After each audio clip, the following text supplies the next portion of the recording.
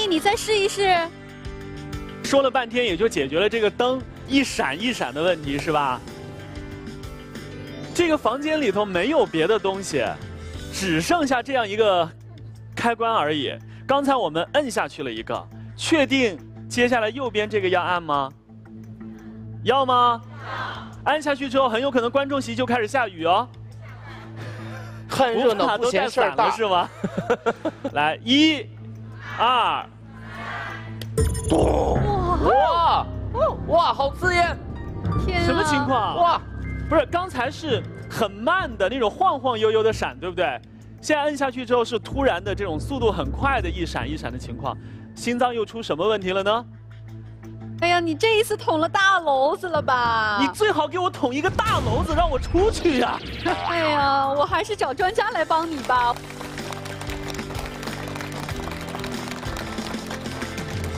看来心脏的这个结构非常的复杂哈。刚刚呢，我们专家说。咱家这屋子挺大的，还分为上下两层楼。对呀，这两层楼线路肯定挺复杂的。是，如果要是电工去这个装修的时候码电线的时候，那都是一个非常专业而浩大的工程。所以这一次到底问题又出在哪里了呢？这一次呢是王毅他的心率变快了，所以他就闪的。特别快，要快好像有感觉吧？我们有时候，比如说紧张的时候，心砰砰砰跳；你看到美女的时候，心砰砰砰砰跳。我跟你讲，我还真的经常出现心跳加快。你看，一个是初恋嘛，老初恋。然后呢，一一个是运动完之后，我经常会心跳；还有一个，有的时候撒了谎，哦，那个心我也会慌一下，咯噔一下。会慌是吧？所以经常经常每天都会出现这样的情况。对，或者是前一天晚上没有睡好觉，第二天就心一直很慌的在乱跳。有的人喝了咖啡之后心跳加快。我我我我喝了茶也会加快。所以心跳快，这不是在生活当中很常见吗？这种心跳快都是正常的，正常心跳快叫生理性的。我运动，我交感兴奋，我心跳就快。那么我紧张，我交感兴奋，我也快。我们最重要是要了解什么叫不正常的心跳快。比如说我休息，我今天心情非常好，我在马路边、公园里面慢慢的散步看景色，突然我心跳两一分钟两百次了。啊，那么快？对，所以我们通常指的心跳呢，一分钟一百五十次，甚至于两百次左右，这叫心跳快。一百五到两百次每分钟，那是心跳，嘟嘟嘟嘟嘟嘟嘟嘟嘟嘟嘟嘟嘟，这节奏够吗？一百五到两百次，对，就这种感觉。那这是哪儿出问题了呢？这个就是电路出问题了，也是电路的问题，也是电路出问题。那咱们还是得把这个电路图拿上来哈，看看到底是哪儿出了问题，让我们这个电路又发生错乱了。我们可以看问题在哪里呢？我们正常传导，这叫。窦方结发电站传出电往心房，再到变压器心室，这个变压器管住不让它特别快。那现在问题出在哪里呢？嗯，哦，这样一个过程。这个是模拟什么呀？这模拟短路了，就是多了一个旁道。正常你看带弯的，慢慢往前传，不能太快。嗯。但是这个呢是直的，所以它传特别快。所以在正常一分钟八十次。每两跳之间，它传特别快，回来又跳一次，结果就加倍了。我们是这种道理。哦，这就是异常连通嘛。对。哦，它和它直接发生关系了。对。啊，它放出来的电，直接它就接收得到了。对。然后它一反应呢，又返回去作用于这盏灯。对。所以就所以呢，我们才它会在往前跳一次。正常跳一次，一分钟八十次。嗯，那么他在两次心跳之间，他又跳一次，结果呢就变成一百六了。我们可以给大家看看动画哈，如果要是发生这样的短路的话，心脏是一个什么样的变化？你看，正常呢，我们只有从窦房结往下经过变压器、房室结传到心室，它不能往回传。那现在我们看心房、心室之间多了一个旁路以后呢？正常跳一下，它现在变成跳两次了，所以心跳就变成一分钟一百五、两百次，甚至于两百多次。哦，哎呀，等于加速了。那在您的病人当中，您见到过心跳次数最快的会快到多少下？最快能跳到两百六七十次一分钟。啊，是。你模拟一下，韩飞。我不是，我没有那么我没有那么快的那个。嘴都到达不了那个频率了对对。，但是呢，就是那个类似于机关枪哒哒哒，就是你看不见心脏就这么跳，对，就就是你看一个心脏，它就是这么快。那您说，在我们真正的这个心脏当中，这是肉长的，对，它怎么就会发生这个短路的问题呢？也是先天性的，就是啊就相当于有些人长六个手指头一样。哦，它长出了多它心脏里面多了一个电电传导线，哦，就一个心肌细胞，你看不见，就可以比头发丝还细，看不见。你要做解剖能看见，它有个传导，就像一个多了一个看不见的细电线。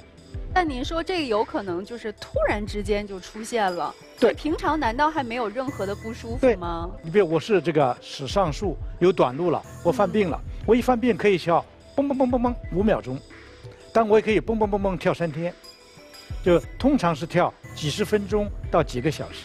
啊，那这个时候呢，就是犯病了。为什么犯病呢？就这个短路、这个旁路，它兴奋了，也不知道为什么。就心脏里面的压力呀、液体啊，不定任何原因，它一兴奋开始了，就是只要你正常心跳，我就陪着你再跳一次。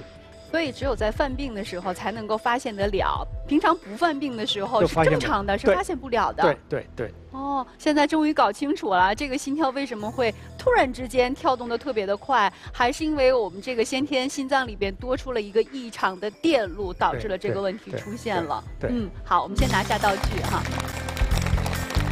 那只要是电路出现问题呢，要么就是跳得很慢，心脏的能力特别的差，全身的器官都会受影响；要么呢跳得特别的快，我们也特别的难受。那这两种情况，哪一个是更危险的呢？您考虑过吗？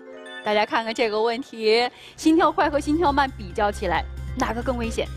要快呀、因为我的心跳，你看刚才测了，基本上属于跳得慢的。我有一次去接欢豆放学的时候，我记得我走着走着，那个心就要就砰砰砰，我感觉就要从这个嘴里面就给蹦出来了，我特别难受，就感觉要窒息了，我就觉得我真的活不过那一会儿了。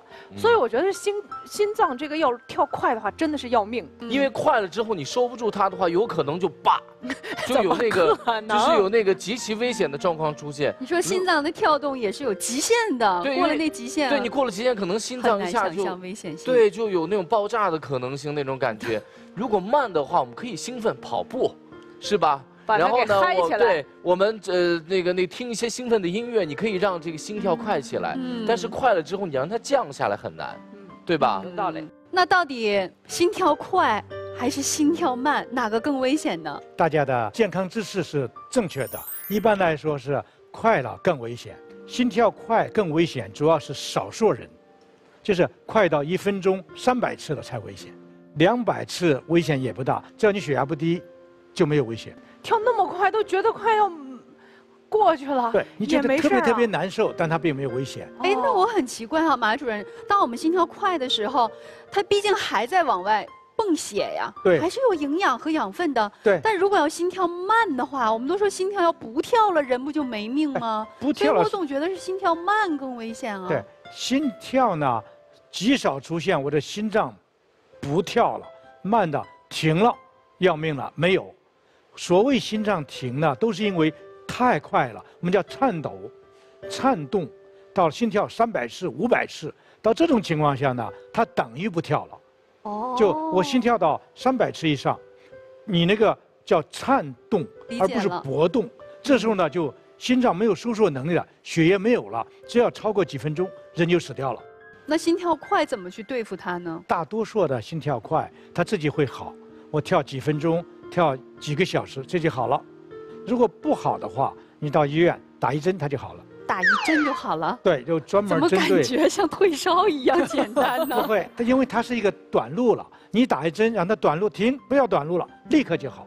就感觉就像把那个那个那个钳子断把那个电线给剪剪断了。我那个药呢，一打针，它专门针对短路，它立刻它就不动了，不传导了。哦，另外还有一种就是，如果你老犯病，你到医院做手术，我们叫导管射频消融就跟冠心病放支架一样，一个导管从骨静脉到心脏，找到那个短路，你可以找到，就像那探雷器探的那个地点一样。这么精确还能够找到短路的那个线路呢？对，我们就找到短路电烧，你一烧它就这个短路就就是那个断了，电线切断了，一辈子不再犯。原来这么厉害，这么权威，在业界影响力这么大的马主任是一个电工啊？